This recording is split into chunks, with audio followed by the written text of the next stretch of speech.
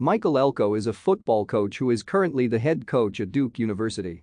He was previously the defensive coordinator for Texas A&M from 2018 until his hiring by Duke on December 10, 2021.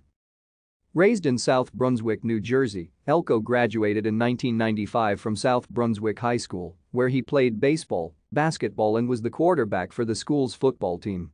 He was recognized by the coaches of the Greater Middlesex Conference as the league's top quarterback in 1994 and was inducted into the school's Athletic Hall of Fame in 2012. He graduated from the University of Pennsylvania, where he played for the Penn Quakers football team that won the Ivy League championship in 1998.